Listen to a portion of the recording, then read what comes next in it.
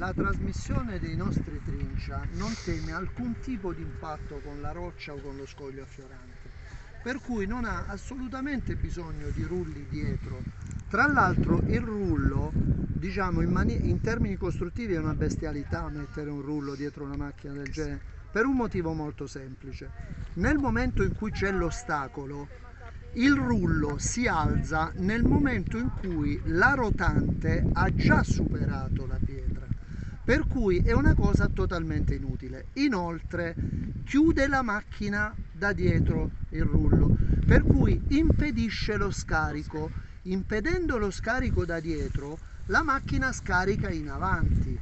Chiaramente in avanti c'è l'operatore e c'è il trattore quindi li ho nominati nell'ordine di importanza, cioè innanzitutto c'è una persona e poi c'è anche un mezzo. Quindi è preferibile che in avanti, diciamo che l'uscita sia nella parte posteriore.